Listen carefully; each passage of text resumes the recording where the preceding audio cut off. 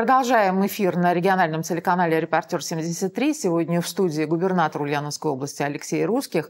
Алексей Юрьевич, говорим о том, что середина лета – жаркая пора. Мы поговорили с вами о ремонте дорог, поговорили с вами о том, как мы готовимся к зиме. Ну и жаркая пора для села. Есть цифра, что в России в этом году уже намолочено вдвое больше зерновых, чем в прошлом году. Вот на сегодня свыше 50 миллионов тонн. В прошлом году в это время было только 25 миллионов тонн. Наши ульяновские ульяновские аграрии тоже готовы бить рекорды? Какие цифры? Ульяновские э, сельхозпроизводители уже 5 июля э, вышли на уборочные работы. Для примера хочу сказать, что в прошлом году это были 20 числа июля. Поэтому, в общем-то, и э, на эту дату и больше и на молочной, и в целом по стране, и у нас в Ульяновской области.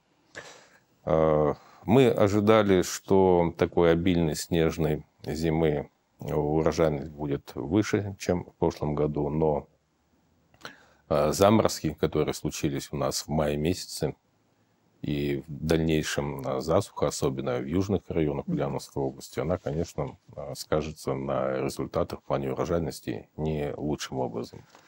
Мы планируем в целом по этому году выйти на урожайность в среднем ну, 32 33, может быть 31 центнеров с гектара. Это в среднем, в среднем по региону. И в таких условиях это очень даже неплохое. Я считаю, что это хороший результат.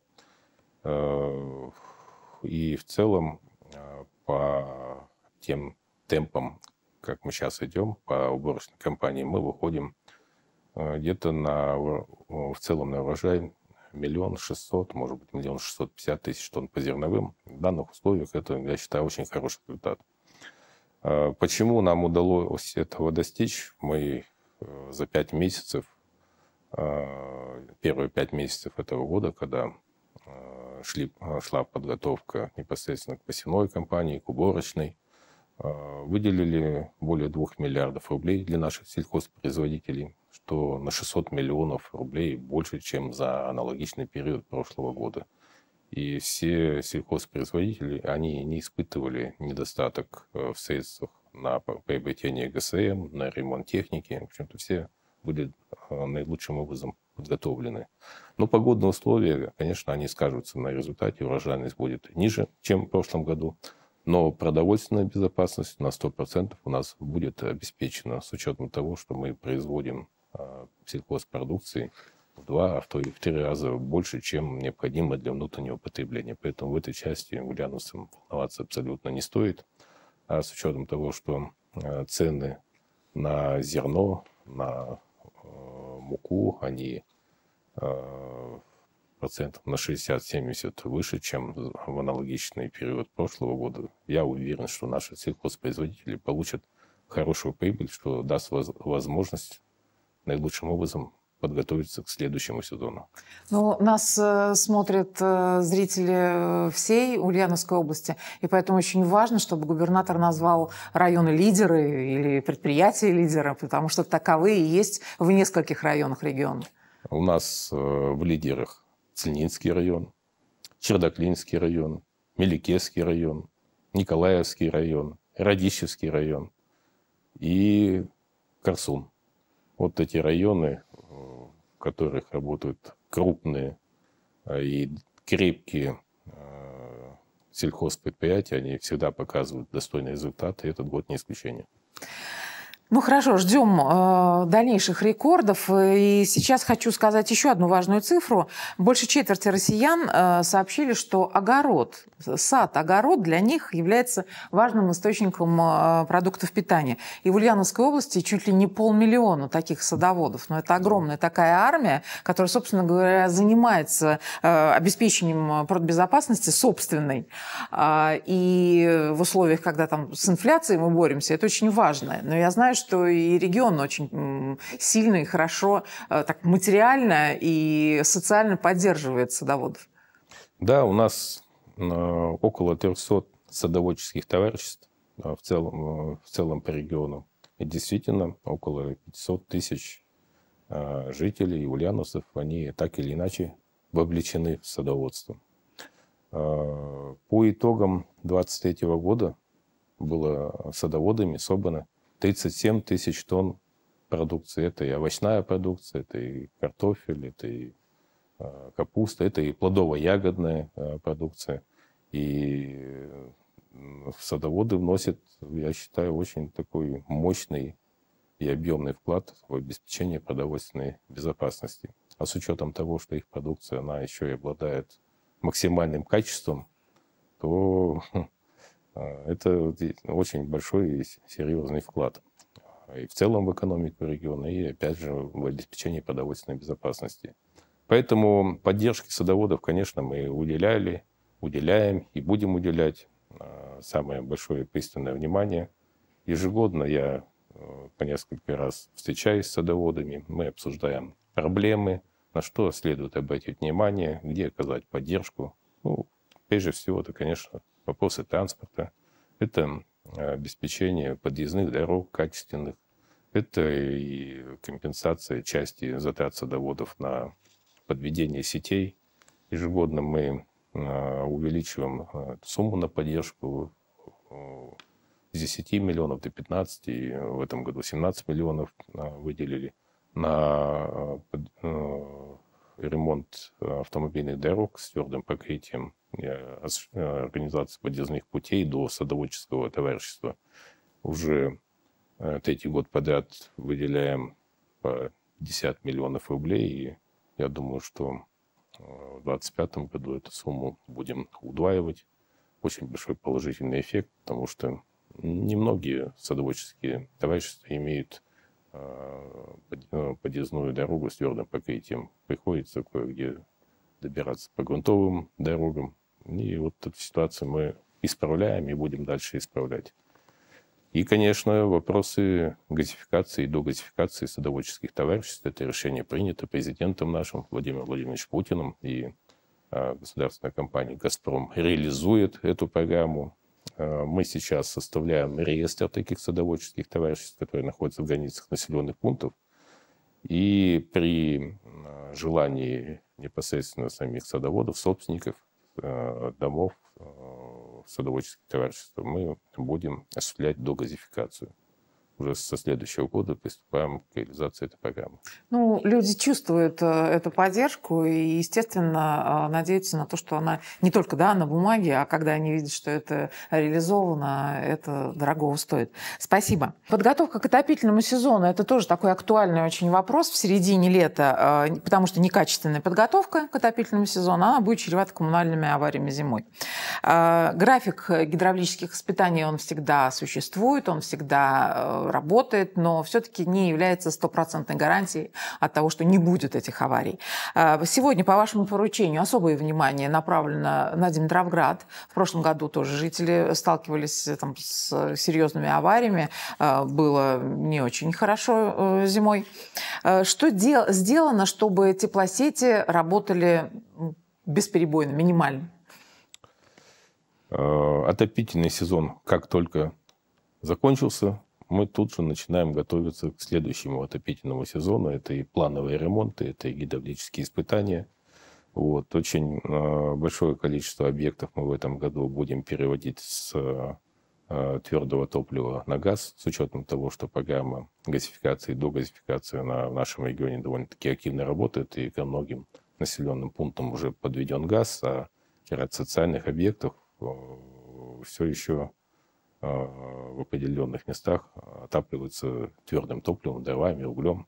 Поэтому 100 а, миллионов э, рублей бюджетом выделено денег на корпорацию развития коммунального комплекса. Их задача а, перевести котельные, которые на твердом топливе, на газовые котлы, там, где проведен газ. По Димитровграду 14 котельных мы передаем на обслуживание корпорации развития коммунального а, комплекса. А, уже в этом году на ряде крупных знаковых объектов, ну, таких как котельная на территории завода «Химаш», будет произведен капитальный ремонт.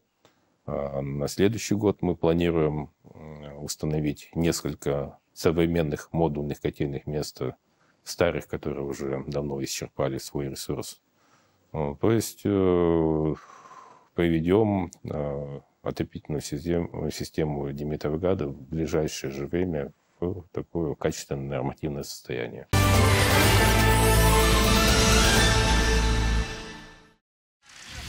Продолжается подготовка к атоп-сезону. На теплосетях Ульяновска выявлено 348 повреждений, 295 из которых устранены, 14 находятся в работе.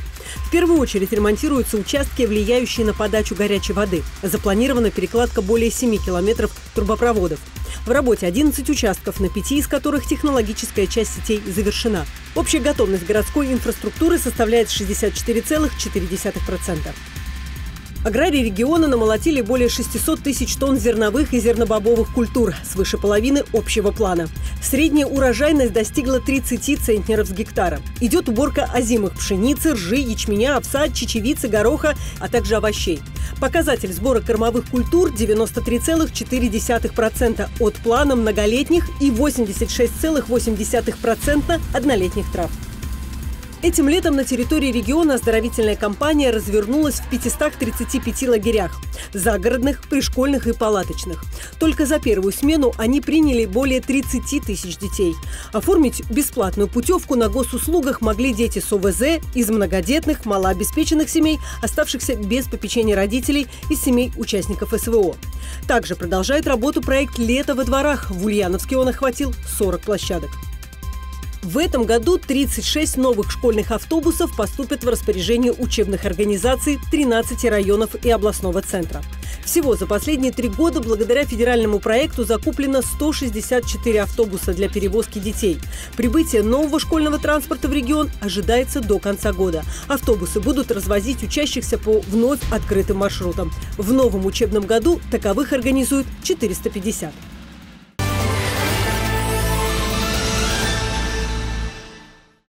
Итак, у нас два месяца школьных каникул позади. Алексей Юрьевич, с началом лета стартовала оздоровительная кампания наших детей.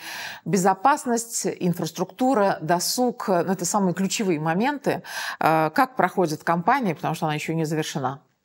Кампания проходит э, хорошо. Уже 43 тысячи детишек отдохнули первых двух сменах. А всего за этот э, летний период должно по планам нашим отдохнуть 54 тысячи детишек. Все идет э, планово, э, организованы профильные смены по изучению иностранных языков, по профподготовке. Вот, Орляты России, движение первых на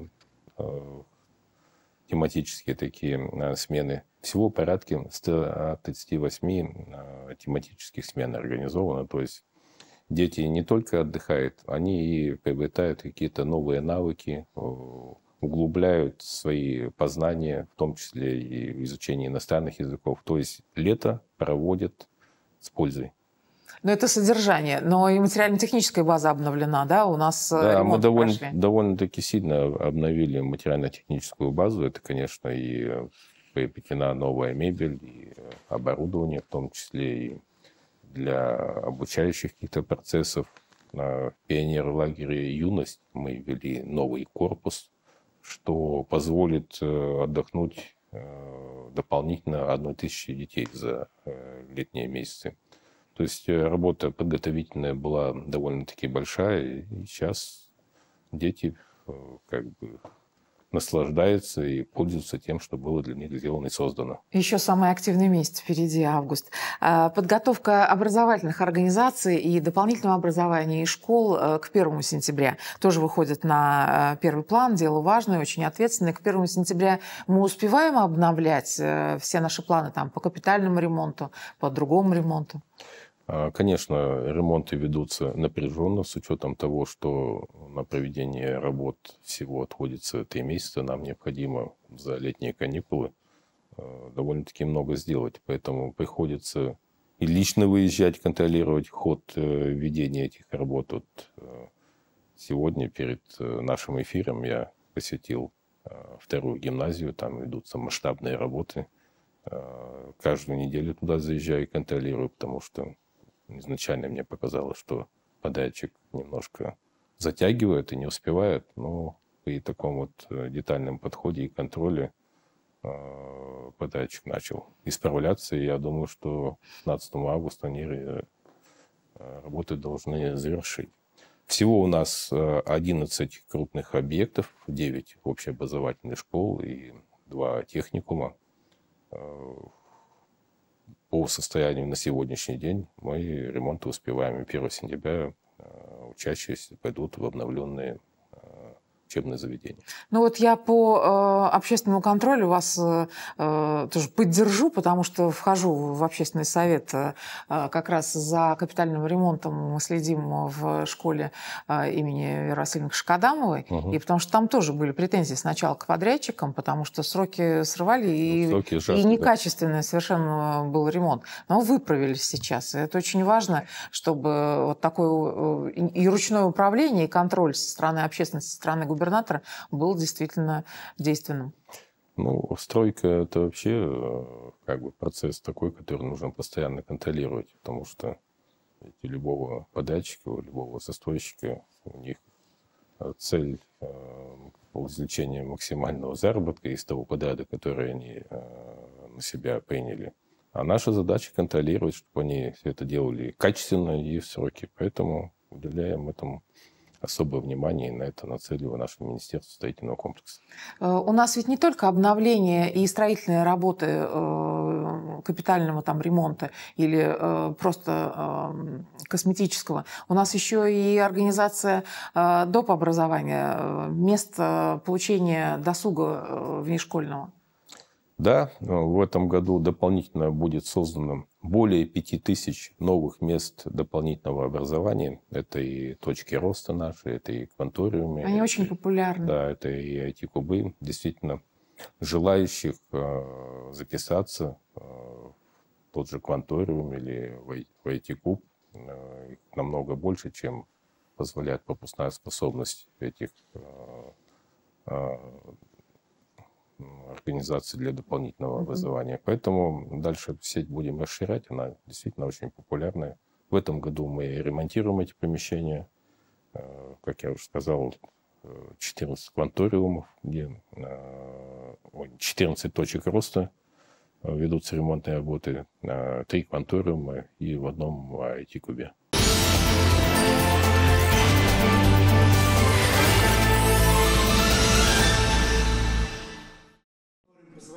Яркие изображения современного Центра детских научных инициатив пока что на бумаге. Задача полностью обновить классы химии, биологии, физики и информатики, дабы создать все условия для развития способностей молодых ученых. В настоящий момент пять кабинетов уже отштукатурены, на последующие шестой и рекреация. В настоящий момент завезено часть оборудования. Часть оборудования находится на этапе аукционов торгов. Привезли, значит, 3D, 3D принтера, три фрезерных станка, 30 ноутбуков, 15 мискроскопов и э, два многофункциональных центра, цветной и черно-белый лазерный. Современные лазерные и нейротехнологии, беспилотная авиация, программирование, искусственный интеллект и 3D-моделирование – это лишь некоторые направления образовательной программы. Такие курсы для учеников – возможность не просто послушать лекцию, но и воплотить на практике свои идеи. Вот сейчас у нас подключен 3D-принтер, то есть как он работает. А, здесь вот поставляется пластик вот в такой форме, то есть он как в катушке идет. А далее а, на компьютере нужно создать а, ну, изображение, то есть которое потом с помощью нагрева производит автоматической печать, вот этот принтер делает. И, например, просто вот мы тестировали, вот такой кубик можно сделать из, из этой проволоки. Вот такой кубик печатается 30 минут. Два-три занятия в неделю без вреда для учебно-воспитательного процесса. Обучаться в новых классах смогут не только ученики 24-й гимназии, но и близлежащих школ под руководством подготовленных педагогов. Реализация нацпроекта образования, то есть вместе с тем, что мы поставляем новое оборудование в течение лета до 1 сентября преподаватели, которые будут работать в рамках кванториума, должны пройти курсы повышения квалификации. И здесь, в этой школе, уже данные курсы педагоги прошли. Своего рода профориентационная площадка начнет свою работу с 1 сентября. В этом году планируют открыть еще два инженерно-технических пространства. Одно из них в Димитровграде. В долгосрочной перспективе такие научные центры не только подготовят студентов, студентов к поступлению в колледжи и вузы, но и также создадут фундамент для формирования кадрового резерва страны, например, по инженерным направлениям.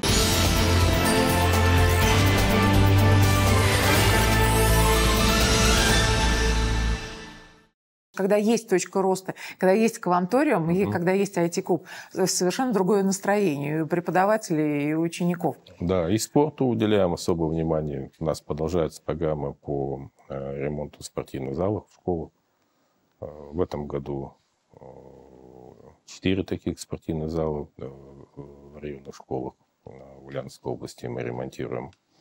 Вот также вызывает очень хороший положительный эффект я считаю, что, конечно, мы должны максимальные условия создавать для того, чтобы дети могли заниматься физкультурой и спортом. Ну и здесь мы полностью укладываемся в те национальные проекты, которые э, заявлены президентом да, страны.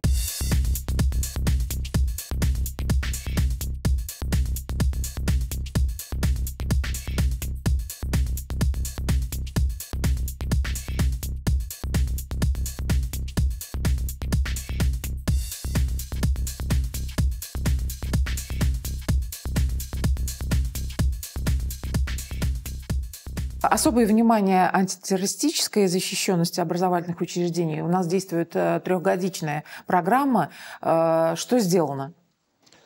Э, трехгодичная программа, вы абсолютно правильно сказали, выделено из регионального бюджета 370 миллионов рублей на эту программу. В первую очередь это работы по закрытию территории школы заборами.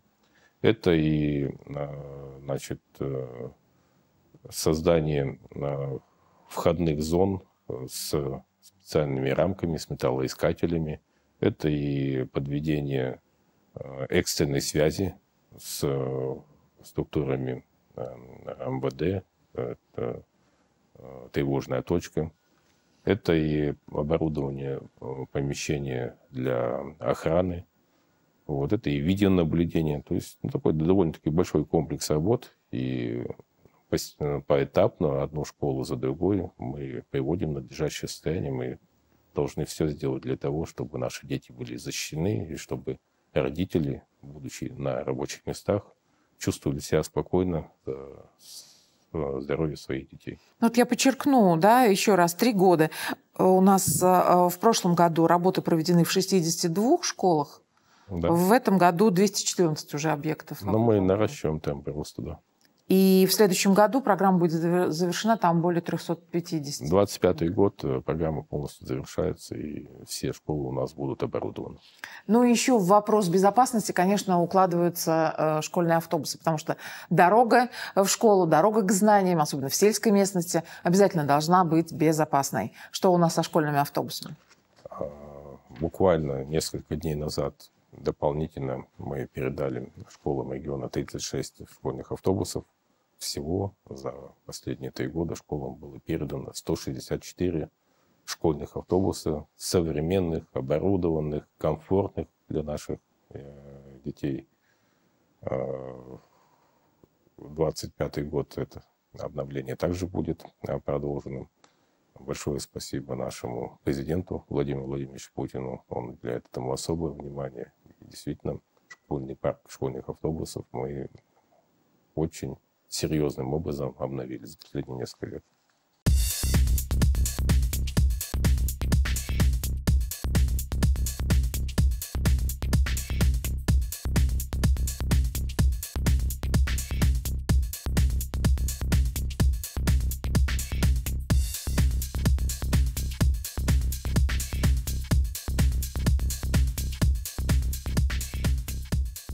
Но вчерашние школьники – это будущие абитуриенты. Прием документов в вузы уже закончен, а, а абитуриенты ждут э, результаты э, конкурса. Все-таки подводить итоги рано. И тем более э, это лишь первая волна вступительных испытаний. Очень важно знать, что в регионе выстраивается новая модель подготовки кадров. Скажите об этом. В первую очередь хочу повторить старый лозунг, еще лозунг первых пятилеток, кадры решают все. Этот лозунг, э, я считаю, э, сейчас главный лозунг вот нашего времени, потому что действительно кадров не хватает. Все предприятия на подъеме, расширять свои производства. Не хватает инженеров катастрофическим образом. И в этом ключе, конечно, вопрос подготовки кадров, он выходит э, на первый уровень, является наиболее важным. И недаром э, президент нашей страны Владимир Владимирович Путин объявил новый национальный проект «Кадры». У нас в регионе э, ведется очень серьезная работа по раннему профориентированию, то есть ребята, будучи школьниками еще средних классов, уже подготавливаются к выбору своей будущей профессии. У нас создаются инженерные классы в наших э, среднеобразовательных школах. Э, в дальнейшем э, учащийся может выбрать, по какому пути он пойдет, либо пойдет по пути среднего образования и по программам профессионалитета. У нас таких профессионалитетов уже несколько в регионе. Это и авиационный колледж, это и Э, профессионалитет, который мы сейчас создаем совместно с УКВП радиоэлектроника. Это и колледж креативных технологий, это и сельхоз, сельхоз направление в Новоспасском районе, и мы планируем еще подобный профессионалитет реализовать. Вот. Это и машиностроение в Димитровграде, Э, то есть на базе э, действующих э, техникумов создается максимально качественная среда для получения образования в той или иной отрасли. Вот. Это, конечно, и наши вузы, которых у нас несколько, и они ничем не уступают столичным вузам по качеству своего образования. По бюджетным местам существенная прибавка по бюджетным местам в этом году. На среднем образовании у нас 5073 бюджетных мест. Это на 220 больше, чем в предыдущем году. Высшим учебным заведениям выделено 4700 бюджетных мест. То есть, в принципе, очень хорошие такие стартовые позиции для того, чтобы ребята, молодежь могла получить качественное образование в регионе.